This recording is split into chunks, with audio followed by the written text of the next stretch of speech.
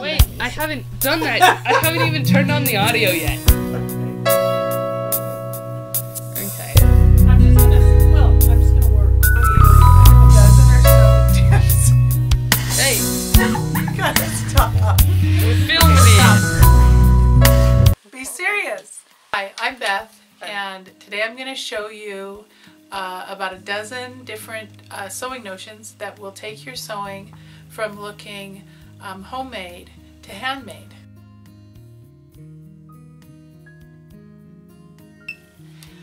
A tip that will help you a lot if you're trying to make a lot, say for Christmas gifts or even to sell things at a fair, um, is to have extra bobbins.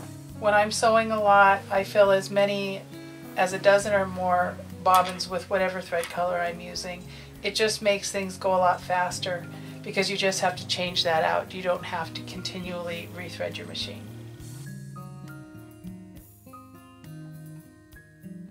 Okay, this little guy uh, is called a bodkin, and this one's seen a lot of love, so it's a little bent out of shape, but it still works as well as it did in the beginning.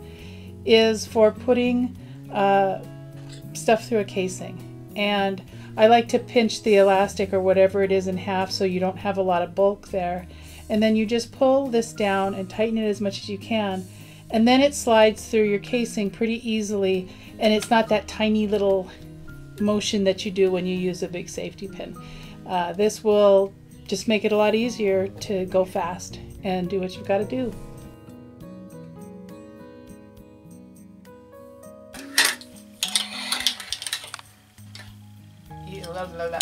Bias tape makers. I usually don't make bias tape, I usually make mine along the grain and I'll show you why at some point when we're using it in a project. Um, but these will make bias tape of different sizes really quick and easy, especially if you also have um, a cutting mat.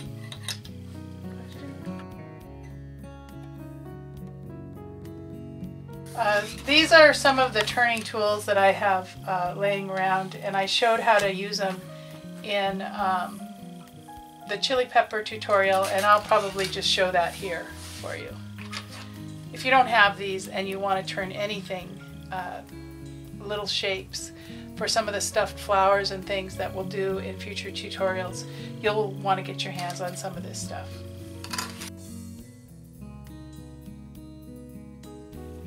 Two specialty threads that I really would miss a lot if I had never discovered them are wash away thread and fusible thread. I use the wash away to baste um, larger pieces. I usually put uh, real thread, usually black, so that I can see it in the top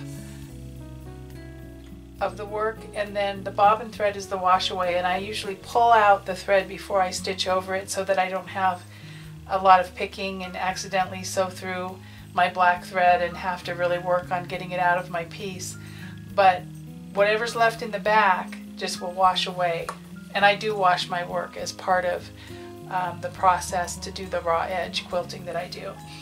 This is a fusible thread and this helps a lot when you're trying to do straight perfect bindings such as on a traditional pot holder as well as bindings on uh, wall hangings and other things like that. You still stitch them either by machine or by hand but this will hold your work and then you're not sewing on something that has a whole lot of sharp pins sticking out of it. You can uh, use this to hold it in place until you get to it with your hand needle. I usually pin the corners and I will show that at some point. You're going to want to have a decent serger. This is as much for hems as for construction. A lot of times when you hem something, if you have to turn the edge twice. It's very time consuming to iron that down. Often you need to pin it as well. And uh, if you serge that edge and then turn it once and stitch it, it's a lot faster, a lot less likely to pucker. And so that helps a lot in terms of making your work look professional.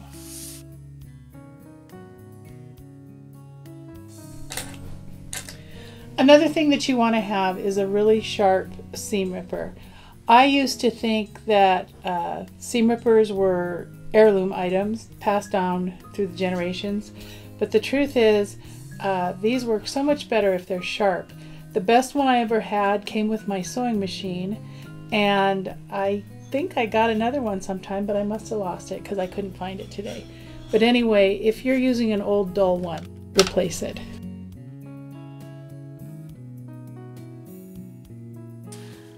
Another item that really helps a lot to have is a magnetic pincushion. Uh, it's very convenient for when you're pulling things out, when you're sewing and putting your needles off to the side a lot faster. Also, uh, glass head pins. They're easier to see on the carpet, especially as well as in your work. And then if you drop them on the floor, um, you can use the magnet itself um, to pick them up. A good cutting mat is an essential part of your toolkit along with a ruler and some kind of a suction handle as well as of course a rotary cutter. This will allow you to cut through uh, as many layers as you're comfortable doing, as many as your blade will handle. Sharp blades, uh, nice thing to have, but I've certainly used blades long past uh, point that I would want anybody to know. Um, this handle I like. I had a $7 handle. You can see it's popped off here. I had a $7 suction handle that lasted for years and it was great. And then when it fell apart from use, I replaced it and the new one that I got never held on. And so I got this one. And this is a pretty nice thing. Um, and it also looks like a telephone if you have kids around. Um, so I like this. I liked my cheap one uh, that worked. I didn't like the cheap one that didn't work. Always close your blade.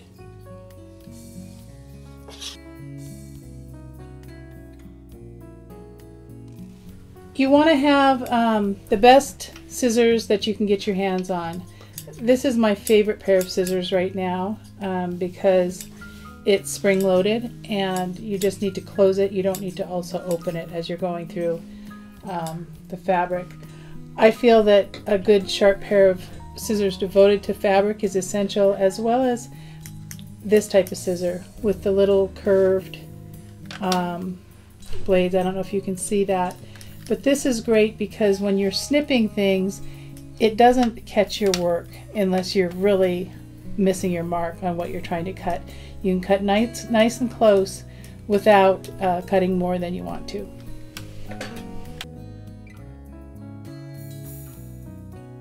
You want to have a good iron. This iron, uh, I've had three or four of these and they've all been great. Um, you might be able to see that I do put water in my iron um, as recommended. I've heard from some women who sew that they prefer to use a squirt bottle and their iron and I want to do my ironing with one hand and use my other hand to shape my work as I go. And so I go ahead and put water in this. I find that they last me until I drop them. And it, it happens in a busy sewing room every now and then and you know then I just have to bite the bullet and get a new iron. One thing I will say about this particular iron is that it will steam for me on silk at the top of my silk setting which is important if you do silk scarves which I do. So. Another tip that I have has to do with your iron and it is to put your iron on a power strip with a light. This way you can turn your iron off and on with your foot. And because I work a lot, when I'm sewing, I often have my iron set so that it will be on all the time rather than shut off with an auto switch. And so I like to be able to turn that off and on, but also the bonus is that with the light on the power strip, I can see from the door of my sewing room, even from my living room, if I've forgotten the light on. And that helps a lot too when I'm asking someone else in the family to go make sure that mom turned her iron off.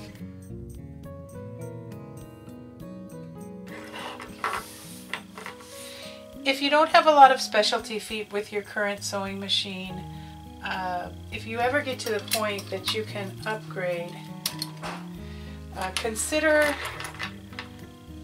these specialty feet. These are edgers. Um, this one goes to my big, big machine, this one goes to my smaller machine, and both of them do the same uh, type of thing. They allow you to sew very close along the edge of something, um, such as this, meticulously uh, stitching a seam like that. Another foot that you want to look into is some sort of a darning foot.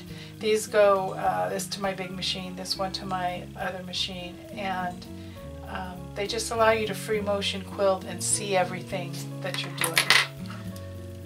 This is a walking foot, it goes to my little quilter, and uh, it just keeps layers from pushing on each other so that you have progressive puckering down a seam, and it just makes certain things that you do, including quilting it's with straight lines, um, effortless and beautiful. Four other general suggestions that I have, um, things that are really helpful if you want to uh, create sewing things, find a way in your living space to have your sewing machine out. If it's in the closet it and comes out onto the dining room table or the kitchen table, it's much easier to put things off. Even the side of the guest room or, you know, somewhere where it's a little out of the way but can stay out, your machine is going to get used more, if you're like I am anyway, if you leave it out.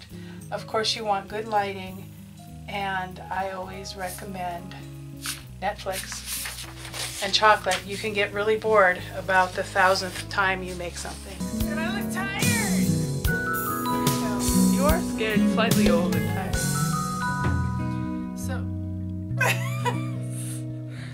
Slightly. um,